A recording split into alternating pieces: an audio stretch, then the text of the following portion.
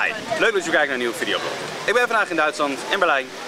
En passief inkomen kan je een heleboel vernederingen besparen. Uiteraard moet iedereen werken in het leven en iedereen moet iets hebben om zich eh, bezig te houden. En het is prima, dat is goed, maar het ligt in de mate waarin. De hoeveelheid dat je moet werken en het soort werk dat je moet doen. Als je met passief inkomen aan gang gaat, dan doe je het eigenlijk vaak om minder te werken en ook om misschien leukere dingen te doen. Dus je gaat wel werken, je gaat ander werk doen, leuker werk, werk dat beter bij je past. En als je passief inkomen opbouwt vanuit dividend investeren, dan kan je voorkomen dat je op latere leeftijd ja, heel veel moet werken en ook voor, eigenlijk het is toch een beetje vernederend werk moet doen. Want ik zie het om me heen, heel mensen op leeftijd, echt de 60 al gepasseerd, die nog folders moeten rondbrengen om ja, in hun levensonderhoud te voorzien. Eh, ja, dat is natuurlijk leuk als je 13 of 14 bent. Ik heb het zelf ook gedaan, foldertjes en krantjes lopen.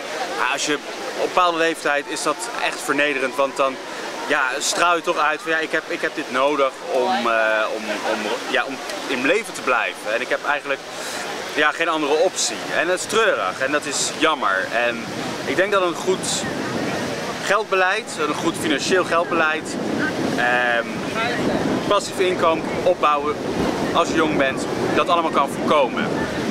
Het kan ook voorkomen dat je heel veel nog moet werken.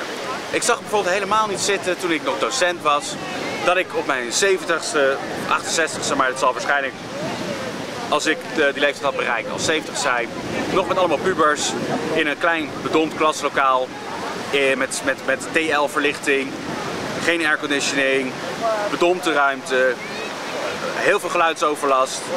Ja, ik zag dat zelf niet zitten. En dat heeft mij ertoe gebracht dat ik ging kijken naar ja, hoe kan ik passief inkomen genereren en wat is de makkelijkste manier om dit te doen. En toen kwam ik dus uit dividend investeren. En dividend investeren kun je gewoon vanuit je luie stoel doen, kun je gewoon thuis doen, hoef je helemaal niet uh, ja, ergens voor naartoe. Kan iedereen, iedereen boven de 18 kan dat doen. Um, het, gaat allemaal vanzelf, daar hoef je allemaal niet veel voor te weten, je hoeft niet heel slim te zijn. Uh, je moet gewoon je geld investeren en het uh, laten staan. En het dividend weer herinvesteren, zodat je op den duur weer geld binnenkrijgt waar je van kan leven. En waardoor je dus niet vernederend werk hoeft te doen. Zoals ik zie het gewoon heel vaak. Mensen hollen en rennen voor een paar euro's. En ja, dat is jammer. Want er is veel meer in het leven dan hollen en rennen voor een paar euro's. En zoals dat vernederend werk. Sommige mensen moeten als soort pakezel moeten ze goederen vervoeren, moeten ze sjouwen, tillen. Um, telefonisch werk waarbij ze worden uitgescholden. Ja, dat, is toch ook, dat, dat wil je toch ook niet. En dit, dit is niet alleen op het laagste niveau, je ziet het ook op hoger niveau. Zie je gewoon dat heel veel werk ja, een vorm van vernedering met zich meebrengt. Uh, je moet zoveel uren werken, ook als arts of als advocaat. Ik vind dat vernederend. Ik vind het vernederend voor mensen als ze zoveel tijd van hun leven moeten besteden aan dingen die ze eigenlijk gewoon niets echt interessant vinden. Die hun heel veel energie kost en waardoor bijvoorbeeld het familieleven heel erg leidt. Heel vaak van die mensen die uh, ja, zoveel werken, die hebben problemen thuis, die kunnen hun kinderen niet uh, voldoende aandacht geven, kunnen vrouw of man niet voldoende aandacht geven. Is niet goed. Dat is absoluut een, uh, een, reden waarom de echtscheidingen steeds vaker voorkomen, waarom mensen steeds sneller uit elkaar groeien. Omdat ze gewoon heel weinig tijd met elkaar doorbrengen. Je krijgt ze niet echt tijd om met elkaar te ja, connecten. En ja, dit soort dingen kan je dus voorkomen door het gaan dividend investeren. Want dan creëer je passief inkomen, waardoor je op den duur kan zeggen, hé hey, luister, ik hoef niet meer vijf dagen van 7 tot, uh, nou zeg het wat, uh, 8 of 9 s'avonds op dat kantoor te zitten. Allemaal saai dingen, allemaal saai bestanden uitzoeken. Dat hoeft dan niet meer, want dan heb je de financiële mogelijkheid om te zeggen, weet je wat, ik ga op die, uh, van dat geld ga ik twee dagen vrij nemen. Waarop ik tijd heb voor mijn familie, voor mijn kinderen en voor dingen die ik echt mooi vind in het leven. Voor de natuur. En ja, dat is een heel mooi streven van dividend investeren en dat is haalbaar voor iedereen. Iedereen die vroeg genoeg begint met dividend investeren, kan dat makkelijk in 20 jaar opbouwen. De mogelijkheid om vrijer te zijn, om niet langer vernederd te hoeven zijn door het arbeidsproces. Ja, nogmaals, ik, ik zie het echt heel veel om me heen. Mensen die hollen en rennen voor een eurotje. En, en ze doen allerlei werk waar ze helemaal geen zin in hebben, maar ze moeten wel. En hoe jammer is dat? En hoe jammer is het dat vaak dat wordt gedreven door hun consumptiegedrag. Want daar begint het allemaal mee met passief inkomen opbouwen voor dividend, investeren.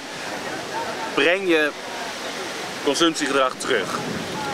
Ga dat, wat je uit hebt gespaard, ga dat investeren en laat het renderen.